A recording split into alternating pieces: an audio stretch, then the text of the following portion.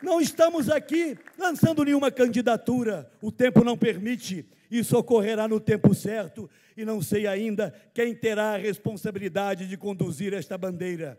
Mas eu ouso dizer a cada um dos que estão aqui que o Brasil inteiro, assim como ocorreu com Tancredo Neves lá atrás, com Juscelino alguns anos, algumas décadas antes, hoje o Brasil inteiro acompanha o que acontece em Minas Gerais. Seja sejam os êxitos desse extraordinário companheiro, gestor público mais qualificado do Brasil, Antônio Augusto Anastasia.